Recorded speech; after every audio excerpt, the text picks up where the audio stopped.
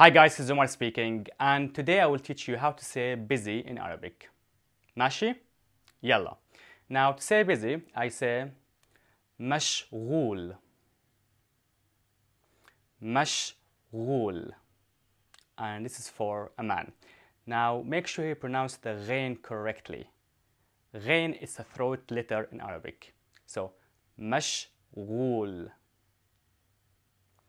مشغول. And for a woman, I say مشغولة مشغولة So what I did here, I just added the ending eh. So مشغول مشغولة So the endings eh in Arabic refers to a feminine gender. تمام? Okay, now let's have an example. I am busy tomorrow. أنا مشغول بكرة. أنا مشغول بكرة. أنا I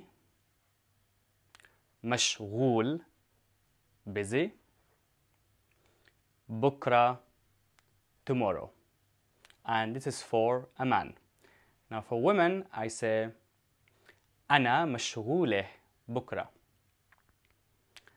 أنا مشغولة بكرة now again I mentioned that in other videos uh, we don't have the verb to be in Arabic so am is are we don't have them so throw them from the window so what actually I'm saying here I busy tomorrow تمام I hope guys you enjoyed this video and make sure to subscribe because from now on every Friday we will choose one winner and we will give him or her full access to our online training program the Nassra Arabic method.